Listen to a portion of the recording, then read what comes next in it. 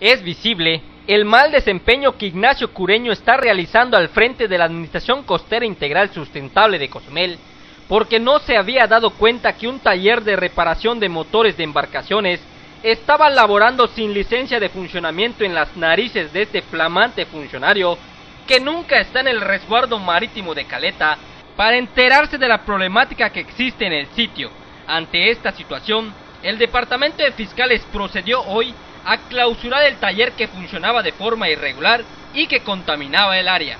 Ahorita nos encontramos aquí en lo que es la caleta de, del ASIS. Estamos esperando a nuestros compañeros de desarrollo urbano, los de este, protección civil, y nosotros vamos a seguir dando nuestro, nuestro seguimiento.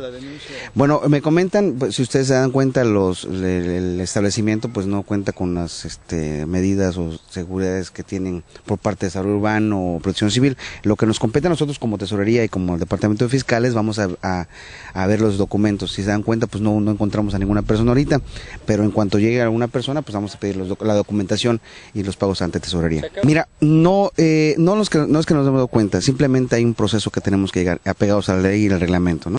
Bueno, ahorita si, si ellos no contasen con la licencia de funcionamiento o el permiso ante tesorería, vamos a hacer la clausura. Eh, pues eh, supuestamente aquí vemos ahí que es en reparación de, de, yates o lanchas. Entonces, si no cuenta con su funcionamiento, vamos a proceder a la clausura.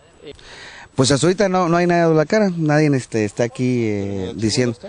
En el archivo no, no hemos checado ahorita. Por otra parte, podrían tener acuerdos entre la ASIS y el hotel cercano para que con estas acciones desalojen poco a poco a los posesionarios de la caleta, como aparentemente está previsto en el proyecto de la nueva Marina Fonatur, del cual se prevé que usuarios queden fuera del resguardo al término de la construcción de la mega obra.